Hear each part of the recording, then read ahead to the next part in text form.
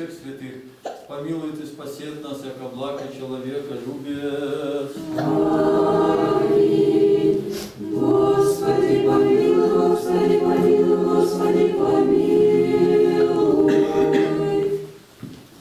Из беседы святителя Иоанна Златоуста называется «О любви».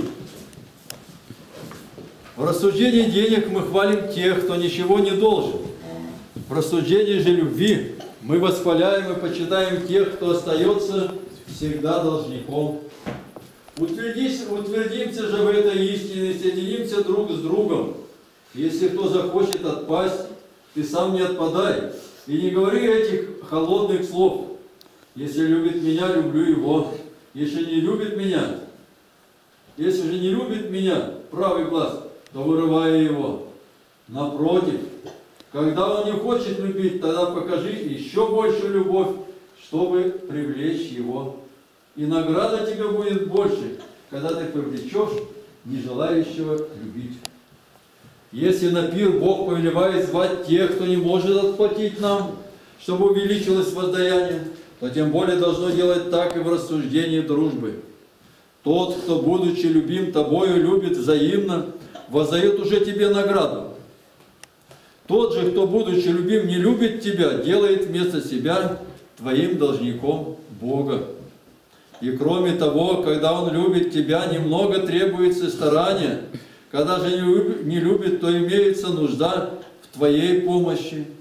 Не делай же того, что должно быть причиной заботливости, причиной беспечности, и не говори так, как он болен, то я пренебрегаю им. Болезнь – это охлаждение любви, согрей же охлажденное. Ведь желание быть сильно любимым происходит от сильной же любви. Когда мы не особенно расположены к кому-нибудь, то и не нуждаемся и в тесной с ним дружбе, хотя бы он был великим и знаменитым человеком. Но когда мы любим кого-нибудь горячо и искренне, то хотя бы любимый был ничтожным и маленьким человеком, мы считаем за величайшую честь ту любовь, которую он внушает нам. Если же ты умеешь пользоваться братом, то в состоянии ли будешь когда-нибудь правильно пользоваться чужим? Если не умеешь обращаться с собственным своим членом, то сможешь ли когда-нибудь привлечь и соединить с собой внешнего? Почему ты один? Почему не приобретаешь многих друзей? Почему не являешься Творцом любви? Почему не устрояешь дружбы этой величайшей похвалы для добродетели? Подобно тому, как быть в согласии со злыми особенно раздражает Бога, так и быть в согласии с добрыми особенно радует Его. Не будь со многими в нечестии, готовь себе друзей прежде жилища, прежде всего прочего. Если миротворец Сын Божий, то насколько более тот, кто делает друзьями. Если только примиряющий называется Сыном Божьим, то какой награды не будет достоин тот, кто делает примиренных друзьями? Дьявол побуждает нас быть всем врагами, а Бог повелевает всех считать друзьями и любить. Тот, пригвозив нас к брению и глине, а такого есть богатство, не дает вздохнуть хотя бы немного даже и ночью.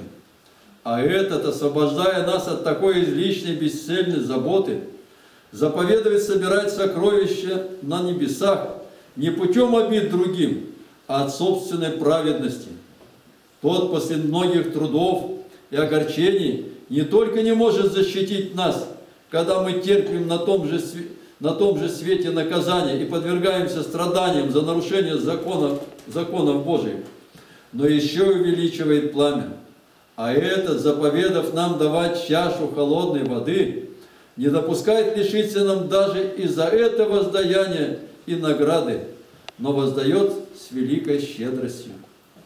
После этого не крайне ли безумие с нашей стороны не любить столь кроткого и обилующего такими благами владыку, а рабствовать неблагодарному и жестокому тирану, которому ни здесь, ни там не может принести никакой пользы повинующимся и преданным ему. Итак, Не ропщите за мои слова. И я ведь про, люби, про любящего меня сказал бы, что он не тогда, когда только хвалит меня, но когда обличает с целью исправить. Тогда-то особенно и любит меня. Хвалить без разбора все доброе и худое свойство не другу, а льстецу и насмешнику. Напротив, хвалить за доброе дело и упрекать за проступок – вот долг друга и доброжелателя. Для чего же мы не приобретаем силы любви и не утверждаем себя в безопасности? Доколе будем ограничивать ее одним или двумя? Тот, кто имеет друзей, хотя бы был беден, становится гораздо богаче богатый. Чего он сам не посмеет сказать за себя, то скажет за него друг.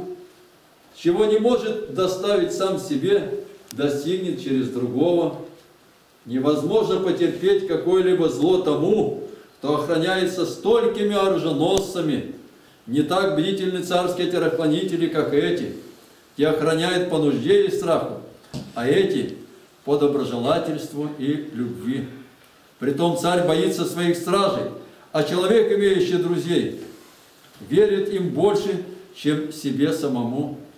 И кроме того, если какая стена столь несокрушимая, столь укрепленная совокупностью огромных камней, столь недоступна для нападения врагов, как союз любящих друг друга и сплощенных между собою единодушием.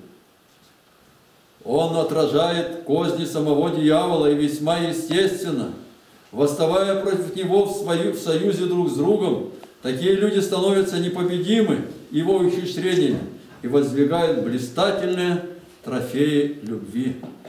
И как струны лиры, хотя многочисленные, но настроенные согласно звучат приятнейшим звуком, так точно объединенные единомыслием издают благозвучный глаз любви. Но ведь ничего, нет ничего усладительнее любви. Чего только не сделает искренний друг, какого не доставит он удовольствия, какой пользы, какой безопасности. Какого не доставит он тысячи сокровищ, ничто не может сравниться с, с искренним другом. Подобно тому, как блестящие тела распростирают блеск и, близлежащие, и на близлежащие места, так и друзья, в каких бы местах ни явились, везде расточают свое благоволение. Лучше поэтому жить во мраке, чем без друзей. Не так, горячо, не так горячко сжигает тело, как душу разлука с любимыми.